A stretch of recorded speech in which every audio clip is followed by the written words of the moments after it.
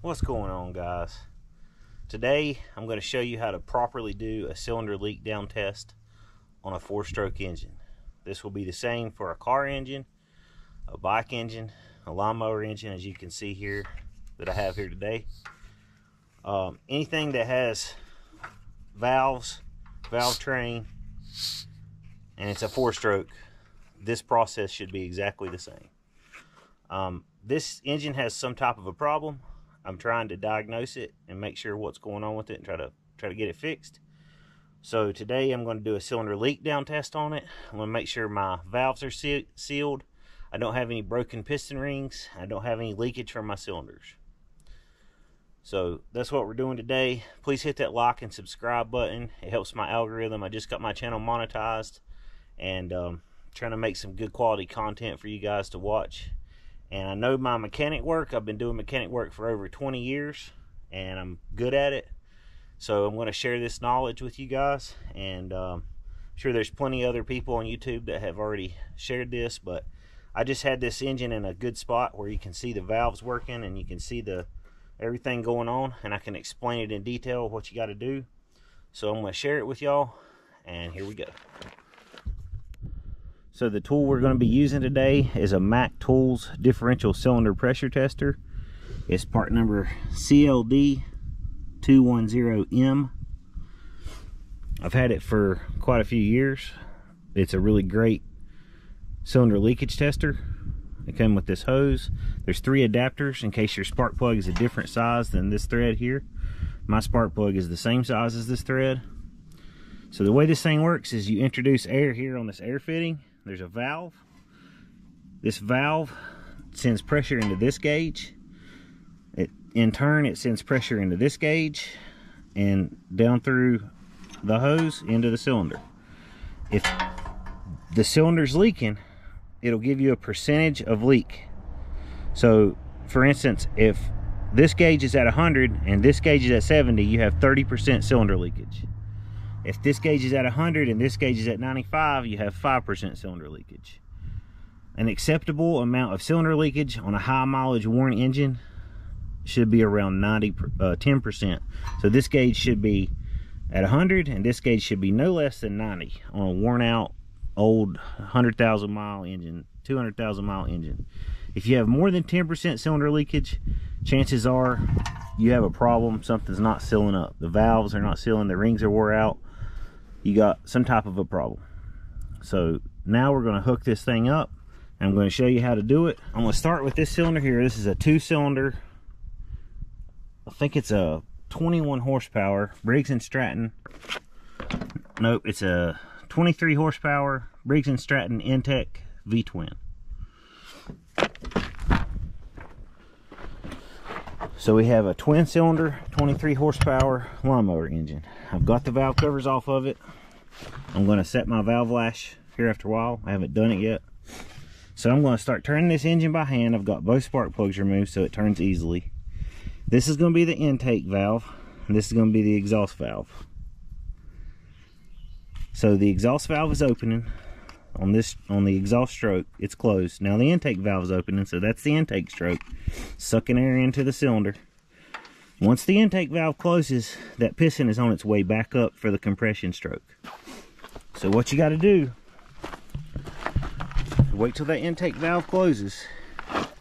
If you're on a car and you have your valve covers closed you can use a borescope to look inside the cylinder while you're turning the engine by hand and make sure that intake valve is closing. Once that intake valve closes, you're going to look inside the piston, the spark plug hole. It could be really hard to see in there if you're on a vehicle that has, you know, limited viewpoint. But with me, I can see pretty good inside this hole. Hopefully you guys can see in there, but I'm watching for that piston to come up. I see it coming up. It's coming up. Once that piston gets to top dead center and starts back down, I'm going to stop. I'm going to back it up until it's right on top dead center. You want it directly on top dead center. So now both valves are closed. You have lash in both of these valve springs, or in both of these rocker arms where the valve springs are closed tight against the cylinder head. Your piston is all the way up. Now, I'm going to take my hose and thread it into the cylinder. Into the spark plug hole.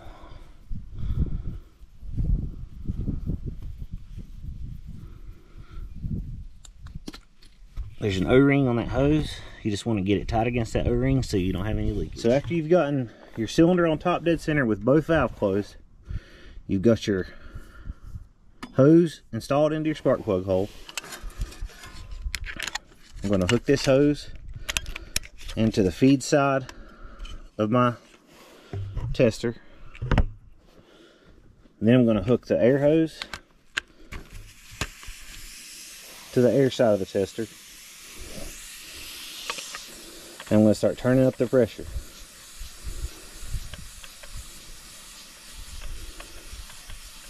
I'm going to watch for that crankshaft to turn. If that crankshaft turns, I have to reevaluate.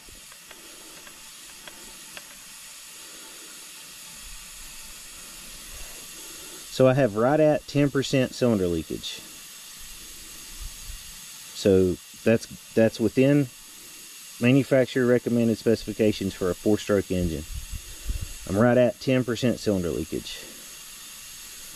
And actually earlier when I tested it, it was closer to 5%. So let me uh,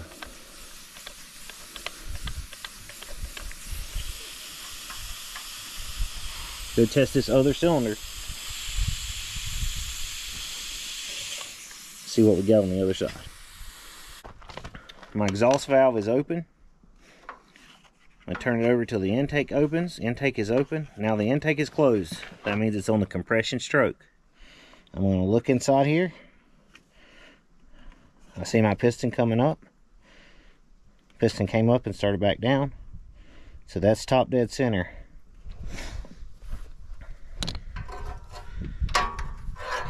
Now I'm going to screw my hose back in this side. I'm to do the same test.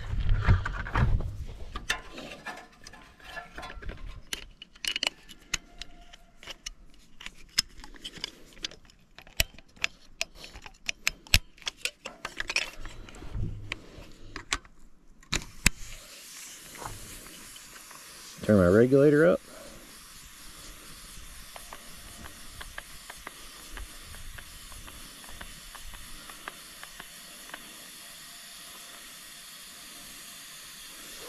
So that cylinder is showing 3% cylinder leakage.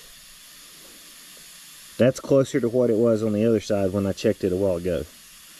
So there may be something wrong with that cylinder that's intermittent because the last time I checked it, it was up higher than it was this time when I checked it. So I may need to look closer into this, which I need to adjust the valve lash anyway. So once I do that, it may change my readings. Um, if I need to, I'll take this head off and see if there's anything wrong with the valves. But that's how you do a cylinder leakage test properly on a four-stroke engine. It's the same on any engine. It just may be a lot harder to see down in the cylinder. You may need a bore scope to look down in there. Some four cylinders, you can look directly down in the top of the engine and you can see the piston coming up to top dead center. It's easy to pop the valve cover off on some four cylinders.